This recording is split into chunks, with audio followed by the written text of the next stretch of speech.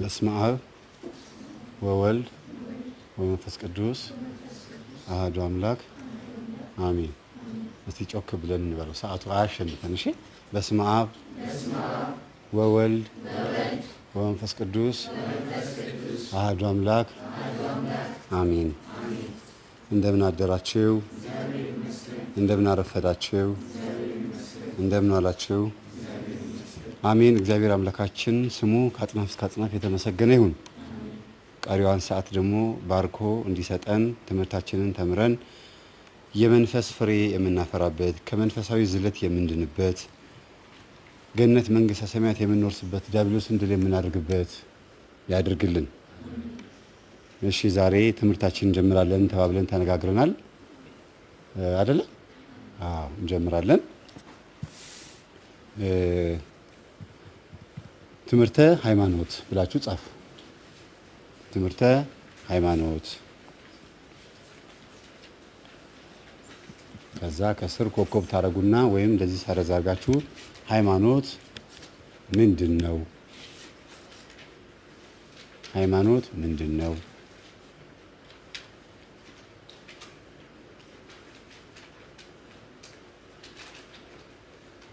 ለማን ተሰጠ?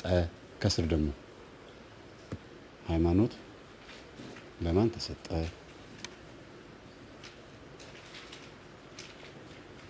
ከዛ ደግሞ ከስር ሃይማኖት ለምን ተሰጠ?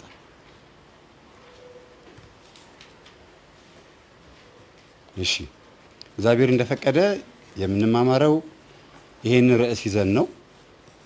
ሶስቱንም ዛሬ ከጨረስ ነው በተሰጠችን እግዚአብሔር በፈቀደልን ሰዓት ይሄን እንማማራለን። ካልሆነ ግን በሚቀጥለው ሳምንት እየጨረስ ነው የምንሄድ ይሆናል። እናንተም ሰሚ ልቦና ሰጥቷችሁ ብርታቱን ሰጥቷችሁ በደንብ እየተግባባን ከሄድን በደንብ እየዘረዘር ነው እንድንሄድ ፈቃደኛ ነኝ። ግን ሁኔታውን ሰዓቱን አይተን ቶሎ ቶሎ አጠር እያደርኩኝ መሄድ ካለብኝ ደግሞ ዋና ዋና ሰውን ብቻ እየነገርኳቸው እሄዳለሁ። ሁኔታችሁን አይቼ ማለት ነው። ስሰጠው ትምህርቱን ትምህርቱን እየተቀበላችሁት መሆንና አለመሆኑን አይቼ ማለት ነው። ለዛ ይሻላል አይደል? እሺ ሃይማኖት ምንድን ነው የሚለውን ጥያቄ ጥያቄ እንዳለ ሆኖ ይቀርና በማስተምረው ትምህርት ውስጥ ሶስቱንም መልስ እንመልሳለን። እያንዳንዱን ርዕስ ይዘን ሳይሆን የምናብራራው ስነግራችሁ እያንዳንዱን ታገኙታላችሁ ማለት ነው። ሶስቱንም በምንማማረው ትምህርት ውስጥ ሶስቱም ይገኛል ማለት ነው። ከዛ መጨረሻ ላይ ጠይቃችኋለሁ። ሃይማኖት ምንድን ነው ስላችሁ ከተማራችሁት ውስጥ ትነግሩኛላችሁ። እንደ ባለፈው ሳምንት የታለች ነበረች? ባለፈው ሳምንት ስጦታ የተሰጣት የት ለጠፍሽው? ስዕሉን በቤት ላይ በየት በኩል? በምስራቅ በኩል፣ በሰሜን፣ በደቡብ ቅዱሳን ስዕላት ሲለጠፉ ቤታችን ውስጥ በምስራቅ በኩል የሚለጠፈው፣ ከተቻለ ቦታ ካለ። በምስራቅ በኩል ፍሪጁ ከተቀመጠ ግን ምንም ማድረግ አይቻልም። ወይም የሆነ በር ካለ መስኮት ካለ ምንም ማድረግ አይቻልም። ግን ቢሆን ስዕል ቤት በኩል ነው የሚለጠፈው፣ በምስራቅ ራስ ስንተኛ አልጋችንን በምዕራብ በኩል እናደርገውና ከእንቅልፍ ስንነሳ ወደ ምስራቅ ነው የምንነሳው። ከእንቅልፋችን ስንነሳ በስተቀኝ እንደዚህ ብለን ወደዚህ ነው የምንነሳው ወይስ ወደዚህ ነው የምንነሳው? ወዴት ነው የምንነሳው? ግራ ይሄ ነው አይደለ? ከግራ ወዴት ነው የምንነሳው? ወደ ቀኝ ነው ወይስ ከቀኝ ወደ ግራ ነው የምንነሳው? ከግራ ከዚህ ወደዚህ ነው አይደለ? ስለዚህ በዚህ በቀኛችን በኩል ካልጋ የምንወርድበት ቦታ ያስፈልጋል። ይሄ አባቶች የሚሰሩት አሰራር ነው።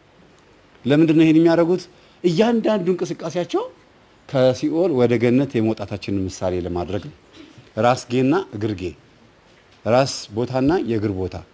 ጌ ማለት ቦታ ማለት ነው በግዕዝ በዓለማዊ አይደለም። እንትን እንዳትሉ። ራስጌ አሁን ለምሳሌ ጉራጌ ማለት ጉራ የሚባሉ ህዝቦች ያሉበት ቦታ ማለት ነው። ጌ ማለት ምንድን ነው ያልኳቸው? ቦታ ማለት ነው። ራስጌ፣ እግርጌ፣ እጨጌ ይባላል አይደለ? የታጨው ሰውዬ መሬት የሱ ቦታ ማለት ነው። ስለዚህ አሁን ራስጌያችን የት ጋር ነው የሚሆነው? በምዕራብ ይሆንና ወደ ምስራቅ ወደ ማነው ወደ ምስራቅ እንነሳለን። ከሲኦል ወደ ገነት የመውጣታችን ወደ ፀሐይ ወደ ክርስቶስ ጠዋት ሲነጋ ወደ ብሩህ ደመና አይናችን ማንሳታችን ማሳያ ነው። ስለዚህ ስዕሉን ስትሰቂ ከቻልሽ በዛ በኩል ስቃዩ። እንደዚህ ደግሞ ህግጋትን ጠብቃችሁ ደግሞ ቤታችሁን ስታስተካክሉት ህሊናችሁ ደስ ይለዋል። የሆነ ደስ የሚል የመንፈስ እርካታ ይሰማቸዋል። ለምን ስትሉ ቤታችሁ ውስጥ ያለው ነገር በሙሉ ምሳሌ ያለው ነው። ስትራመዱ፣ ስትበሉ፣ ስትጠጡ፣ ስታማትቡ፣ ነጭ ለብሳችሁ ስትመጡ ሁሉ ነገር ምናልባት ስትጠየቁ እንኳን ስትመልሱት ደስ አይላችሁ? እንደው ፌስቡክ ላይ የሆነ ነገር እንደው share ስታረጉ ማን ነው like ስታረጉ share ስታረጉ ወይም እናንተ post ያደረጋችሁትን ሰዎች like ሲያደርጉላችሁ ደስ አይልም? እንደዛ እኮ ማለት ነው። ሰዎች ሲወዱላችሁ ከአንደበታችሁ የወጣውን ቃላት ሲወዱላችሁ ደስ ይላል። ወደዚህ ስንመጣ ደግሞ ቤተክርስቲያናችን ያስተማረችንን በተግባር ስንፈጽመው ደስ ይላል ማለት ነው። እሺ ወደ ትምህርታችን ንግባ። ሃይማኖት ሃይማኖት መጀመሪያ ምን እንደሆነ እናብራራውና ከዛ መቼ እንደተጀመረ ከየት እንደመጣ ምን ለምን እንደሆነ የሚለውን እንነጋገራለን። ሃይማኖት የሚለው ቃል መጀመሪያ ሲብራራ ምን ማለት ነው?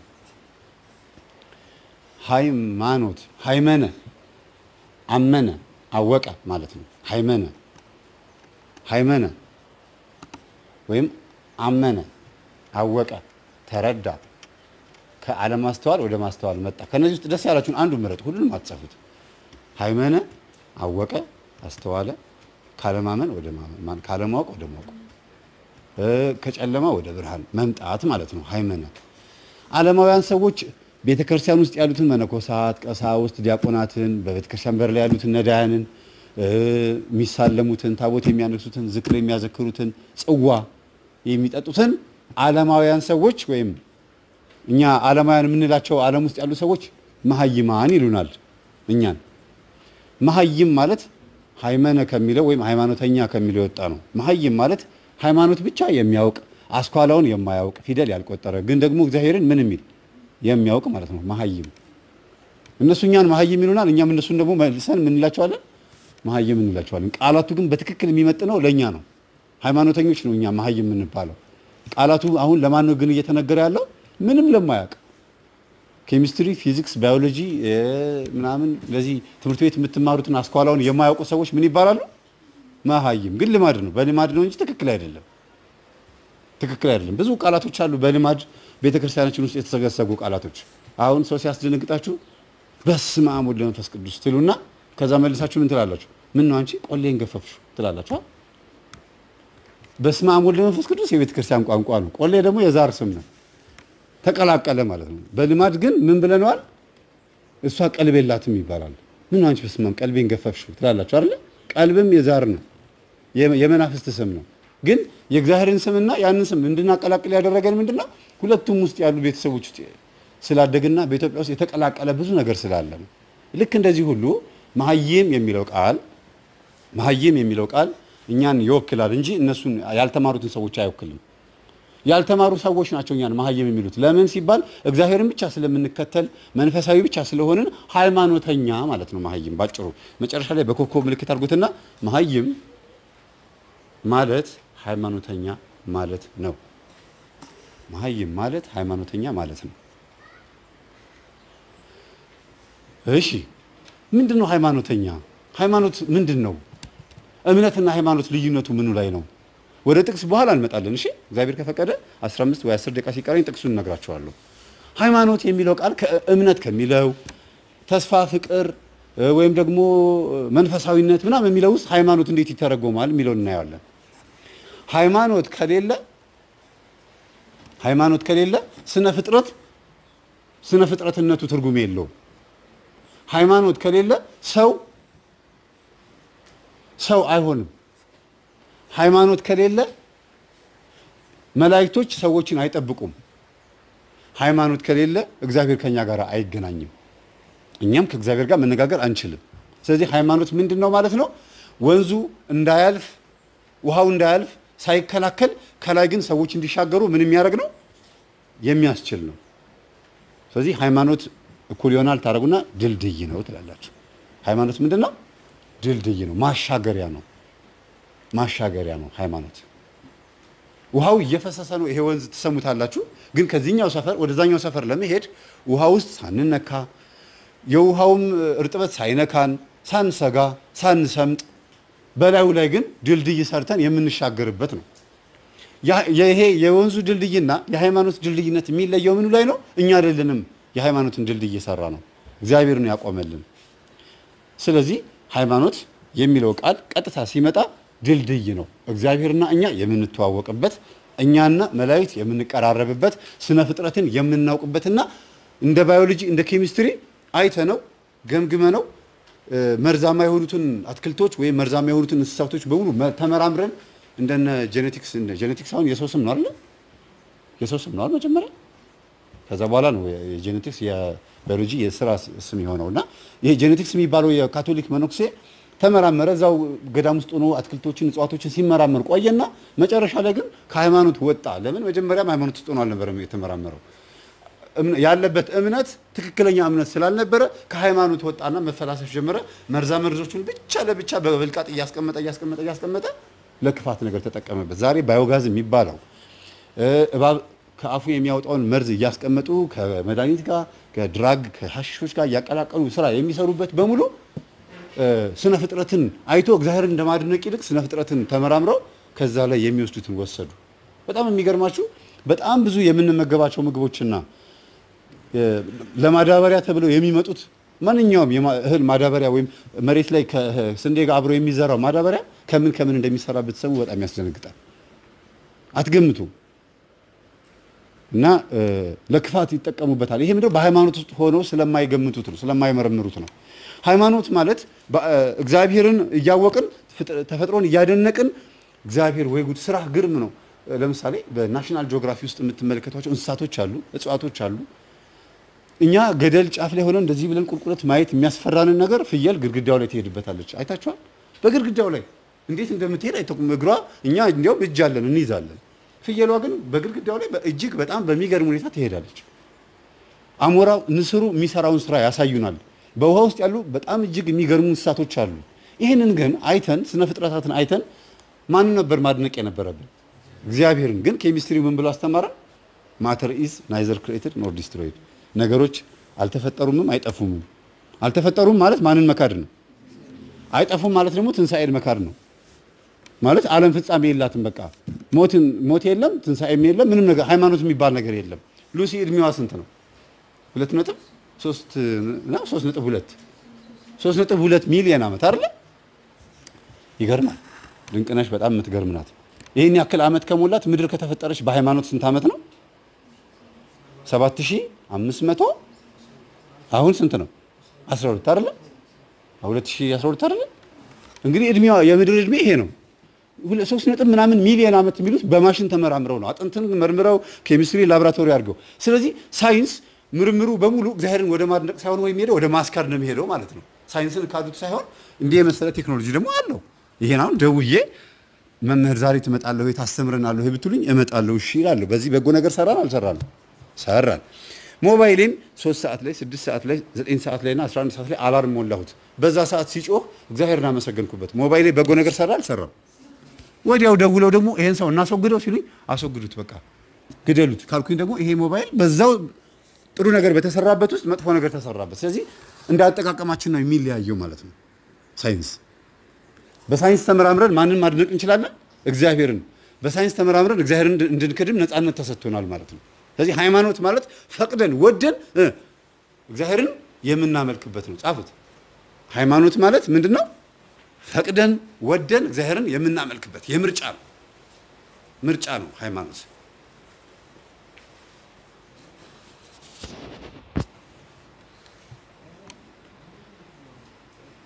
ሉሲ እድሜዋ ያን ያክል ከሆነ ስሟ ደግሞ ራሱ ሉሲ Lucy in the sky የሚል ዘፈን እያዳመጥኩኝ ነበረ አለ ሰውየው። ማን ነበር ስሙ?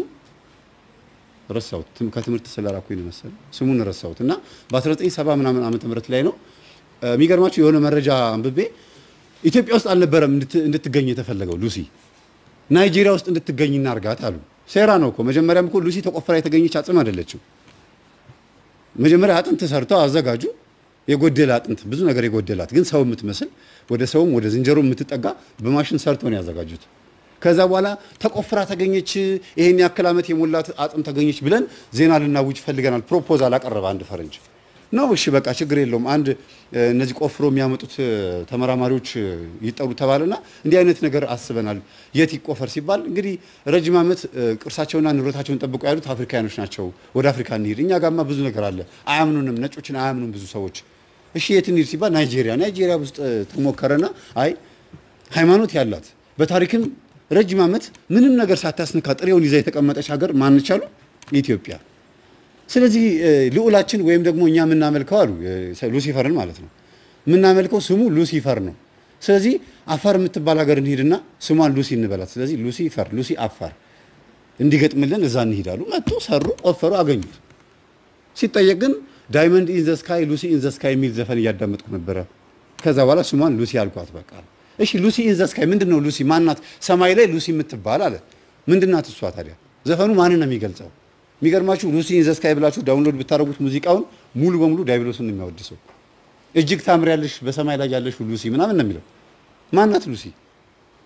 በምድር ላይ ስላለችው ቆንጆ ሴት ቢሆን ኖሮ ዘፈን ያው ድሮንም ለምዷል። ጡት ዳሌ ምናምን ያመሰግናል አይደለ? ያወድሳል። በቃ ዘፈን የታወቀው በዛ ነው። ስለዚህ ተመራምረው ቆፍረው እንኳን ማንን የሚያስክድ ነው የሚያገኙት? እግዚአብሔርን የሚያስክድ ደግሞ ትክክል እኮ አግኝቶት ቢሆን ኖሮ መልካም ነው። ቅርብ ጊዜ ደግሞ ጎልያድን አጽሙን አገኘ ነው አሉ። ረጅም ዳዊት በአምስት ጠጠር ወርውሮ የመታውን ማለት ነው። ጎልያድ እንግዲህ ረጅም ነው፣ giant ነው አይደለ? አገኘ ነው ብለው አጽሙን አሳዩት። በጣም ግዙፍ ነው፣ ስልክ እንጨት ነው የሚያክለው እና በቃ ጎልያድ ተገኘ ብለው ዘራችንን አገኘ ነው reptilians መሆናችን በደንብ ታወቃለ። reptilians ማለት ድቅል ማለት ነው፣ የተዳቀሉ ናቸው። ስለዚህ እነሱ የሚሉንን እየሰማን ሃይማኖት እንዴት ጤነኛ መሆኑን እንወቅ። ቤተ ክርስቲያን ንጹህ ነገር እንዳቀረበችልን የምናውቀው ነጮች የሚክዱትን ክህደት ስናውቀው ነው፣ ስንነቃ ነው። ስለዚህ አሁን ይሄ ጥሩ ነው፣ ይሄ አሪፍ ነው ስትባሉ እናንተ ደግሞ ምንድን ማድረግ ያለባችሁ? ቆይ አዎ ሰታችሁኛል፣ አሁን ገብታችሁ ሰው ከዝንጀሮ ነው የመጣው ሲል እውነት true false ላይ ኧረ እኔ ሰንበት ትምህርት ቤት የተማርኩት አዳም ነው። እንግዲህ አዳም ዝንጀሮ አይደለም። አዳም ዝንጀሮ ቢሆን ኖሮ ቅድመ አያቴ ዝንጀሮ ይሆን ነበረ ብላችሁ ሰው መሆን ይሻላል ብላችሁ X ብትሆን ይሻላል። ኧረ አይደለም false ትላላችሁ አይደለ? እኔ ሆን ሰንበት ተማሪ እያለሁኝ እንግዲህ 1990 አምስት ነው ማትሪክ የወሰድኩት ዘጠና አምስት እና true false ላይ መጣብኝ። ሰው ከዝንጀሮ ነው የመጣው ሲል ኧረ false ነው ውሸት ነው አልኩኝ። X ላገኛት ምንም ችግር የለው አንድ X ምንም ችግር የለውም አይደለ? ግን እስካሁን አልረሳትም። ለምን X እንዳገኘሁባት ለማን ብዬ ነው? ቢያንስ ለእምነቴ ብዬ ነው X ያገኘሁት እያወቅኩኝ ማለት ነው። ምክንያቱም አስተማሪው ያስተማረኝ አዎ ከዝንጀሮ ነው የመጣ ነው ብሏል። የማን አመለካከት ነው ግን ይሄ ከሰው ከዝንጀሮ ነው የመጣው የሚለው ኧረ አንድ ሰው ኒውተን? ሳይንስ። ማን ነው ግን ባለቤቱ ይሄን የተናገረው? ዳርዊን አይደለ? ቻርለስ ዳርዊን። በጣም የሚገርማቸው ዛሬ ሳይንቲስቶች ሃይማኖተኛ ሆነው ዳር- ዳርዊን ምን ነካው ነው ያሉት? እንዴት እኛን የመሰለ ፍጥረት ይሄን ኮምፒውተር የሰራ ፍጥረት ከዝንጀሮ ነው የመጣችሁት ይለናል። እየተዋብን እያማረብን የመጣ ነው ብሎ የሚከራከሩ አሉ። ድሮ ዝንጀሮ ነበርን? there is one super being ሰማይ ላይ አንድ የሆነ ኃይል አለ ከዛ በ Big Bang ወይም በፍንዳታ አንዲት የሆነች ሴል ነበረች። ስትመጣ ዝንጀሮ ሆነች እያደገች እያደገች እያደገች ስትመጣ እንዲህ የተዋብን ሰዎች ሆንን ይላሉ። ያቺ ትንሿ ሴል ከየት መጣች? እንዴት ቆይ ከሆነ ከፈነዳ ነገር ውስጥ እኛ ተገኘን? ጆሮ እዚህ ጋር እንዲቀመጥ እዚህ ጋር እንዳይሆን ያደረገው። ሁለት ጆሮ ሁለት አይን ሁለት እጅ ሁለት ደረት ሁለት ጡት ሁለት ዳሌ ሁለት እግር አንድ አፍ። እንዲህ አይነት ጥበብ ያለው አፈጣጠር በፍንዳታ ይገኛል? ሳይንስ እንደዚህ ያስተምራል እውነት ሳይንስ በትክክል ከሆነ የተናገረው ሳይንስ ሞኝነት ነው። ይህን ግን ሳይንስ አልተናገረም። ዳርዊን በጣም የተሞኘ ሰው እንደነበረ ዛሬ ሳይንቲስቶች አመኑ። ፕሉቶ የምትባል ፕላኔትም እንዳለች የተናገሩ ብዙ ሳይንቲስቶች አሉ። ፕሉቶ የምትባል ፕላኔት የለችም ዋሽተውናል ብለው ደግሞ ሳተሪያን ደግሞ አሁን ሌላ ሚስጥር አወጡ። እርስ በርስ እየተጋጩ ነው። ለምን ሲባል ማረጋገጫ የለም። ስለዚህ ሃይማኖት ነው ማረጋገጫ ያለው። ምንም እንኳን እግዚአብሔርን በአይናችን ባናየውም እግዚአብሔር እንዳለ ተስፋ በማድረግ የምንኖርበት ህይወት ምን ይባላል ሃይማኖት። ስለዚህ ሃይማኖት ማለት በኮከብ የማይታየውን ተስፋ ማድረግ ነው። ሃይማኖት ማለት ምንድን ነው የማይታየውን ተስፋ ማድረግ ማለት ነው።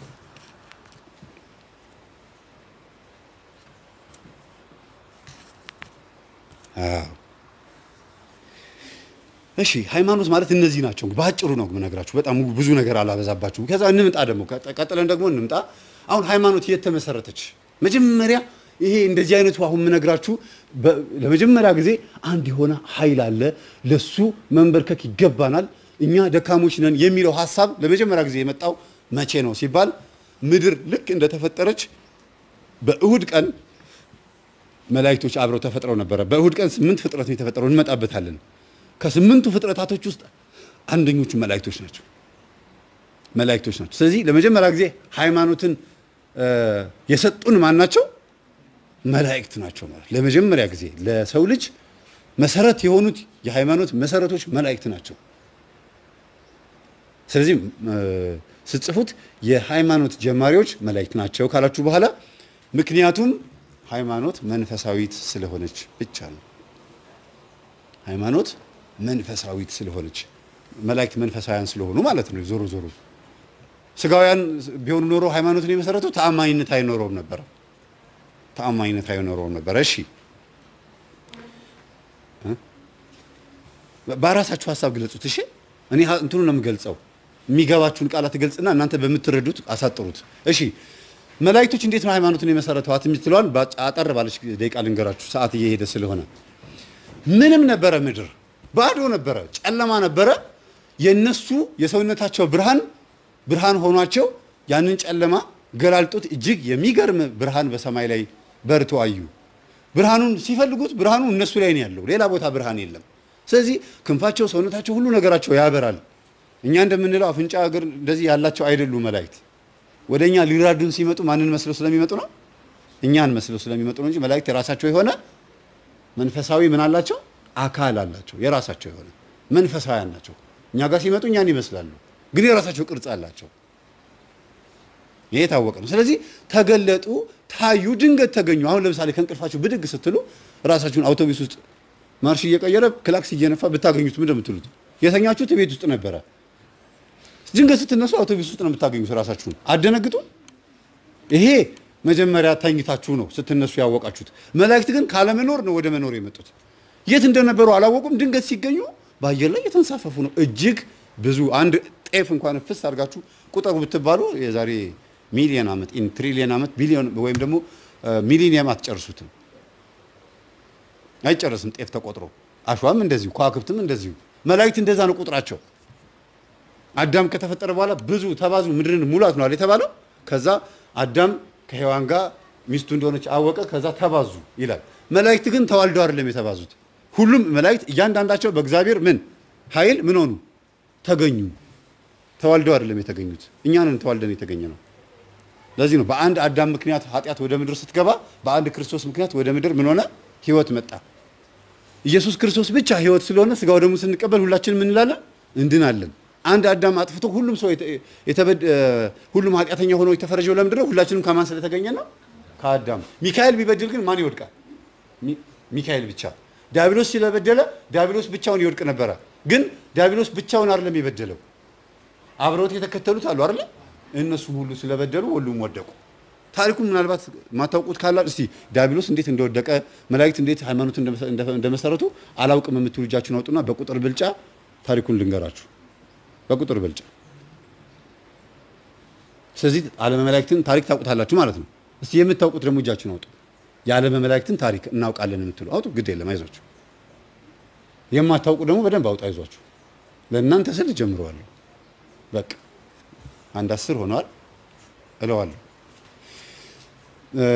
ዲያብሎስ እጅግ በጣም በሚገርም ወንበር ላይ ተቀምጦ ሕዝቅኤል 13 እና ኢሳያስ 14 ላይ ስለ ዲያብሎስ አፈጣጠር ተናግሯል። እንዴት እንደተፈጠረ ግርማው እንዴት እንደሚያምር ትንቢተ ኢሳያስ ምዕራፍ 14 ሕዝቅኤል 13 ሙሉ ኔቱ እስከ 28 ድረስ እንደገና ሕዝቅኤል 28 ኢሳያስ 28 28 22 ላይ እነዚህ ቁጥር የነገርኳችሁን ቁጥር በሙሉ ያዟቸው። ኢሳያስ 14 ኢሳያስ 28 እንደገና ደግሞ ሕዝቅኤል 13 እና 14 እጅግ በሚገርም ብርሃን ተገልጠህ ነበረ። እጅግ በሚገርም ወንበር ላይ ተቀምጠህ ልብስህ ያበራል፣ ክብርህ እጅግ ግሩም ነው። መላእክቶች አንተን ከበውህ ጥሩምባ እየነፉ እጅግ በጣም የምታምረው የመላእክት አለቃ ሳጥናኤል ሆይ እግዚአብሔር እንዴት አሳምሮ እንደፈጠረህ እያሉ ያመሰግኑት ነበረ። እንዲህ ነበር የተፈጠርከው ይለዋል።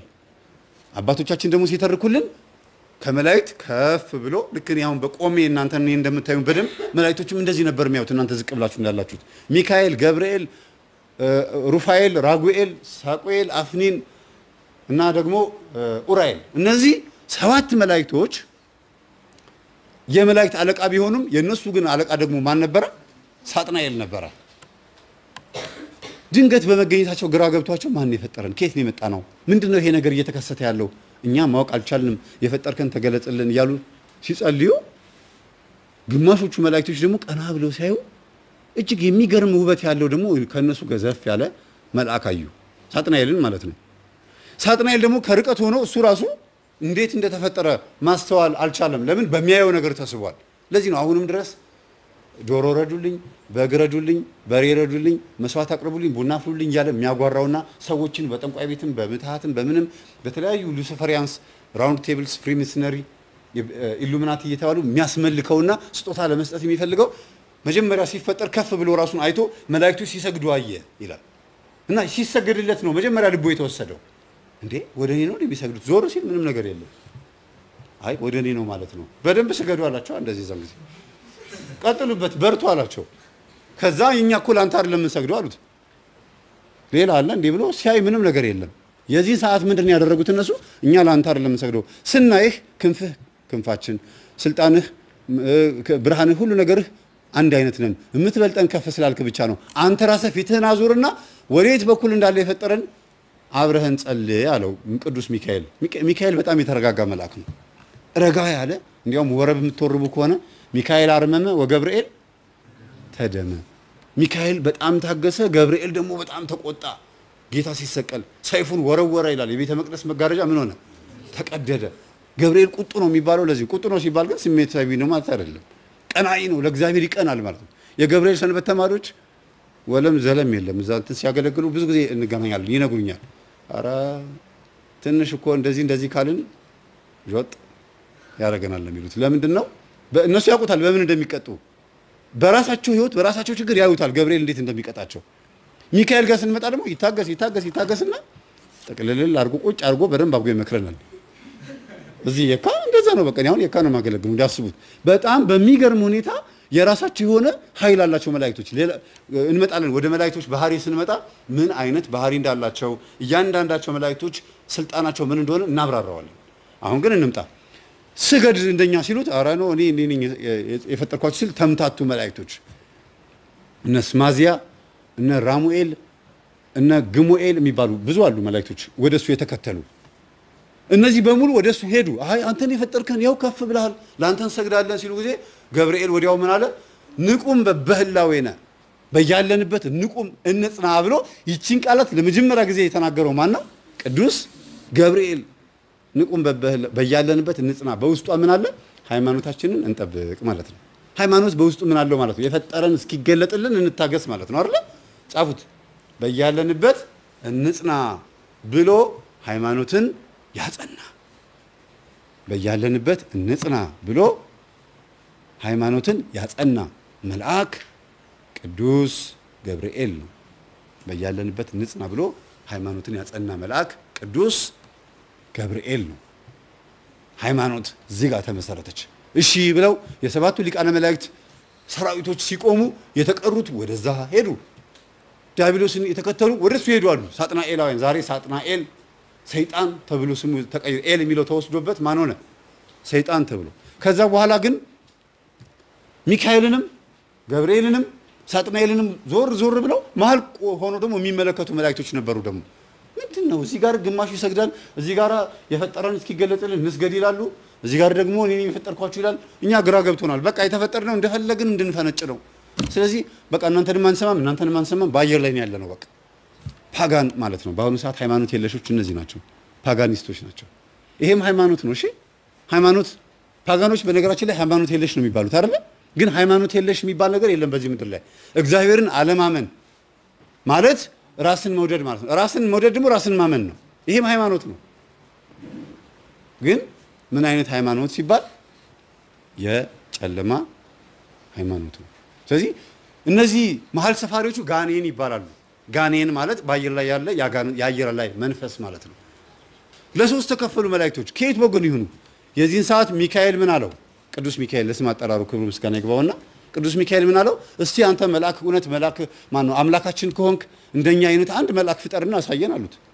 እሺ ብሎ መልአክ ሊፈጥር እጁን ምን ውስጥ ሰደደ ይላል? እሳት ውስጥ እጁን ሲሰድ ተቃጠለ። የዛን ሰዓት እግዚአብሔር በቁጣ ተገለጠ። እግዚአብሔር ተገለጠ ሲባል ራሱን ገለጠ፣ ድምፁን አሰማ። እግዚአብሔር ሲመጣ ነጎድጓድ ሆነ፣ ጨለማው ተገፈፈ፣ ብርሃን በብርሃን ሆነ። ዲያብሎስ የዛን ሰዓት ብርሃኑ ሊገፈፍበት እንደሆነ ተረዳ። ለምን ህሊናው አለ። ድንጋይና ድንጋይ ተፋጭቶ እሳት እንደሚፈጥረው ሁሉ ዲያብሎስ ከራሱ ጋር ተማክሮ ትዕቢትን ምን አላት? ፈጠራት። እግዚአብሔር ነፃነት ሰጥቷል አይደል እንዴ? ምንም ነገር እግዚአብሔር ሳይገለጥ ተደብቆ ማለት ራሱን ሰውሮ እንዲከሰቱ አደረጋቸውና ተመራምረው ማንን አገኙት? እግዚአብሔርን። አብርሃም ተመራምሮ ማንን አገኘ? እግዚአብሔርን። አዳምን ሔዋን አትብሉ ተብለው ነበረ። እንብላ ብሉ። አዎ። አይ አትብሉ ብሏል። ብንበላ ይሻላል። ተከራከሩ ከምናቸው ጋር? ከህሊናቸው ጋር። ከዛ መጨረሻ ላይ ግን ምድራዊ ነገር አሸነፋቸውና ጸበለሱን በሉ። አትብሉ የፈለጋችሁትን ግን ብሉ። ይችን ግን ምን እንዳትሏት እንዳትነኳት። ሃይማኖት ነው ይሄ ራሱ። ስለዚህ ሁለተኛው ሃይማኖት የት ጋር መጣች? እሷን በሚቀጥለው ሳምንት እንማማርታለን። ይሄ አሁን ዛሬ የምነጋገር የመጀመሪያዋ ሃይማኖት ሃይማኖት ሁለት አይደለችም። ስንት ናት? አንድ ናት። ያቺ አንድ ሃይማኖት ከመላእክት ወደኛ እንዴት እንደተዘዋወረች በእምነት እንዴት እንደመጣች ነው የምነግራችሁ። ስለዚህ ለሁለተኛ ጊዜ ሃይማኖት ወደ ሰው ልጅ የተላለፈችበት መንገድ በሚቀጥለው ሳምንት እንማማራለን። መላእክቶች ይህንን ካሉ በኋላ እግዚአብሔር ሲገለጥ ግን ሳጥናኤልም እነ ቅዱስ ሚካኤልም ተናወጡ ይላል። ተናወጡ፣ ተንጎዳጎዱ። የዚህን ሰዓት እግዚአብሔር ፈረደ። ራስህን ማን እንደፈጠረህ መመራመር ሳትችል እንዴት ይህን ሳታውቅ እኔ ነኝ የፈጠርኳችሁ ትላለህ ብሎ እግዚአብሔር ቅዱስ ሚካኤልን አስኬማ ሰጠው። አስኬማ ማለት በእጁ የሚይዘው የሚያንጸባርቅ እንዲሁም ደግሞ ድንግል ማርያም ከመወለዷ ከመፈጠሯ ከመታሰቧ በፊት ይላሉ አባቶች ሲናገሩ እያንዳንዳቸው የጸኑ መላእክቶች ክንፍ ላይ በሰማይ ያለው የሚጣፍጠው ያም የሚባለውን ስም በክንፋቸው ላይ ጻፈላቸው። ምን የሚባለው ያም ማር የሚባለው በምድር ያለ ጣፋጭ ነው። ያም ደግሞ ቤት ያለው ነው፣ በሰማይ ያለው ነው። ይህንን በክንፋቸው ላይ ጻፈባቸው። ቅዱስ ሚካኤል በክንፉ ላይ የመስቀል ምልክትና ያም የሚለው ስም ተጽፎበታል። የሚካኤል ሰራዊቶችም ይሄ አለባቸው። አሳዱት አለ ራእይ ዮሐንስ ምዕራፍ 12 ላይ ሚካኤልና መላእክቱ ዘንዶውን አሳደዱት፣ ተዋጉት፣ እሱም አልቻላቸውም። በታላቅ ቁጣ ወደ ምድር ወረደ፣ ድል አደረጉት ይላል። ሚካኤል ሲያሳድደው በእጁ ምን ይዟል? የሚያበራ አስኬማ ይዟል።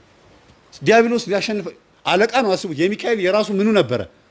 አለቃው ነበር፣ የበላዩ ነበረ። ግን ጸጋው ከላዩ ላይ ሲገፈፍ ዲያብሎስ መማታትም ሆነ መምታት መከራከርም መፋለምም አይችልም። የሚካኤል ስም ሲጠራ ድርሳኑ ሲጠራ ለምንድን ነው ሰይጣን የሚደነግጠው? አሁን ድርሳኑ እኮ ሲነበብ አይወድም ሚካኤል። ከ- በምድር ላይ ሰይጣን ማንን ትጠላለህ ሲባል እግዚአብሔር እንዳለ ሆኖ አለ። የተወለደው የድንግል ማርያም ልጅ እንዳለ ሆኖ አለ። የሰው ልጅንና ቅዱስ ሚካኤልን አልወድም አለ። ለምን ሲባል ሚካኤል ምንን ቀምቷል? ስልጣኔን። ሰው ደግሞ ምንን ቀምቷል? ርስቴን።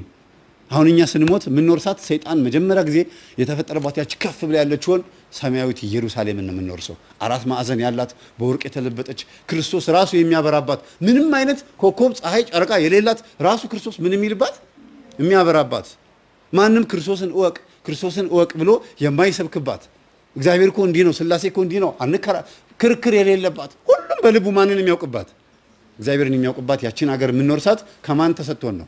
ከዲያብሎስ። ስለዚህ እኛን ሲያየን ምን ትዝ ይለዋል? ርስቱ። ሚካኤልን ስሙ ሲሰማ ምኑ ትዝ ይለዋል? ስልጣኑ። ግልጽ ነው አይደለ? ስለዚህ ለመጀመሪያ ጊዜ ዲያብሎስ ወደ ምድር ሲወድቅ አምስት ቦታ ነው የወደቀው። ከሰማይ ሲወድቅ ስንት ቦታ ወደቀ? አምስት ቦታ። ምን አሸነፈው ሲባል ሃይማኖት። የእነማን ሃይማኖት? የመላእክት ሃይማኖት። የመላእክት ሃይማኖት አምስት ኃይል አለው። ዲያብሎስን አምስት ቦታ ነው የሰነጣጠቀው። እሺ አንደኛ ሲኦል። አንደኛ ምን ላይ? ሲኦል። ሁለተኛ ምድር ላይ። ገና ያላችሁ ልጆች አሉ። ዲያብሎስ ስንት ቦታ ወደቀ አልኳችሁ? አምስት ቦታ። ጨርሱት እሱ። አንደኛ ሲኦል ሁለተኛ ምድር ሶስተኛ ባህር ላይ ወይም የብስ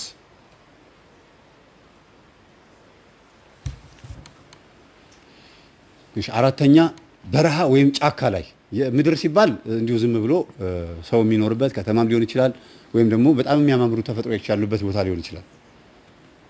አራተኛ ላይ ግን በረሃ የበረሃ ጋኔን የሚባል አለ። በጫካ ውስጥም የሚኖሩ አሉ። ግን አራተኛ የሚለውን በረሃ በሉት፣ በቃ በአጠቃላይ በረሃ በሉት። አምስተኛ አየር ላይ አየር ላይ ጋኔን የምንለው ማለት ነው። ዛሬ መጋኘ በር ስንከፍት እንደዚህ ብለን በሩን ከፍተን እንደዚህ ዞር እንልና እናማትባለን አይደለ? ይሄ አየር የአየር ላይ ሰፋሪዎች የሚባሉ መናፍስቶች አሉ። አምስት ቦታ ነው የወደቀው።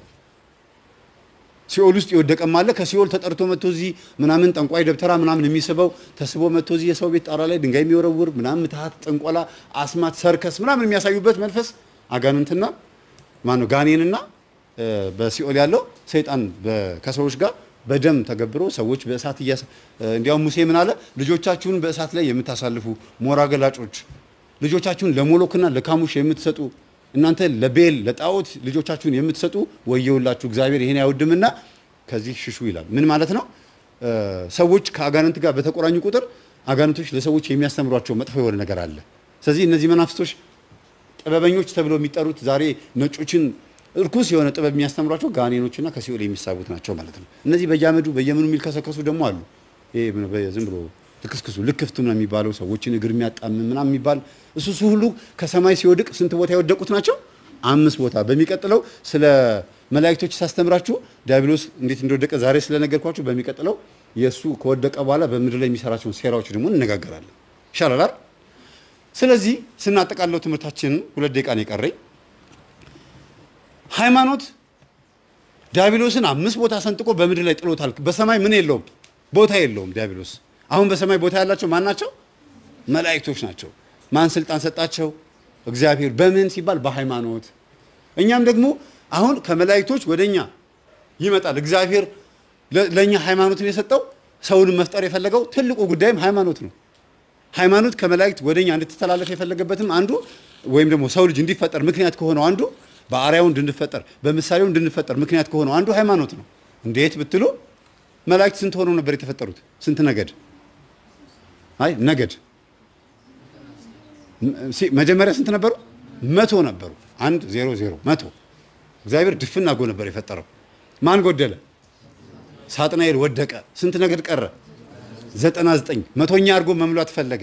ሚካኤል፣ ገብርኤል፣ ሳጥናኤል ምናምን ሲ ኤል ኤል ኤል የማን ስም ነው? ኤል የእግዚአብሔር ስም ለመላእክቶች ስሙን አትሞባቸዋል። ስለዚህ ሰውም ሲፈጠር ያቺን 99 ቁጥር ሆና ጎዶሎ የሆነቿን ቁጥር መቶኛ እንዲሞላ ማንን ፈጠረው?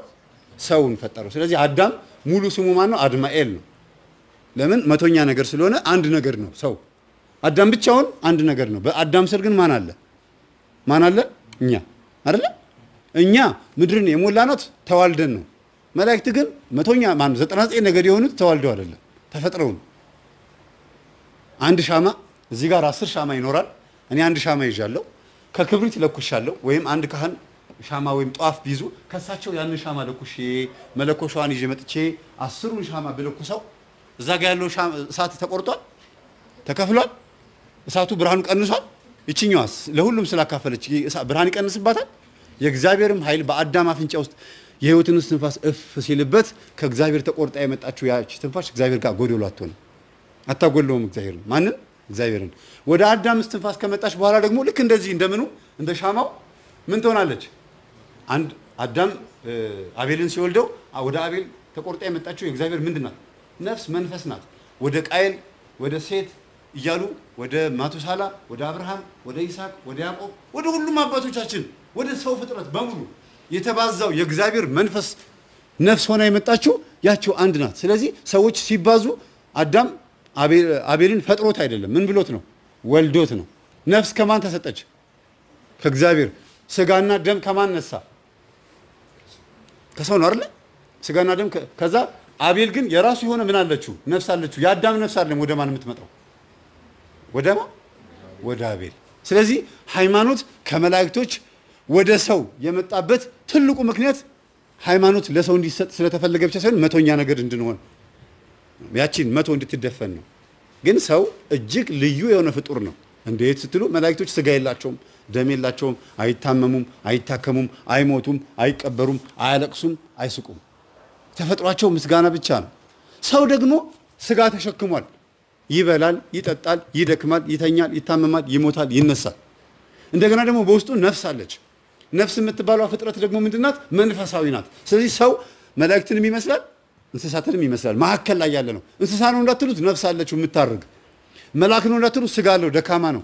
በምን ላይ ያለ ፍጥረት ነው? መካከል ላይ ያለ ፍጥረት ነው። ጸጋውን አውቆ የእግዚአብሔርን መልክ ወይም ክብሩን ማለት ነው። እግዚአብሔር መልክ ሲባል እግዚአብሔር አፍንጫ አለው ሳይሆን እግዚአብሔር ቅዱስ ከሆነ ቅዱስ እንድንሆን እግዚአብሔር የተባረከ እግዚአብሔር ልዩ ከሆነ እኛም ልዩ እንድንሆን ልክ እንደ እግዚአብሔር አርአያ እንዲኖረን ነው። እግዚአብሔር መልክ ይዘን የተፈጠርነው። ስለዚህ ሃይማኖት ለኛ ተሰጠ ማለት ምን እንድንሆን ነው?